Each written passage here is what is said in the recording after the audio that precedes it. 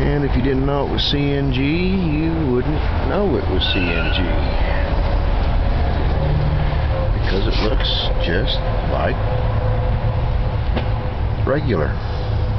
Well, there's an extra sensor here in the fuel rail. Probably temperature, pressure, some kind of solenoid back there.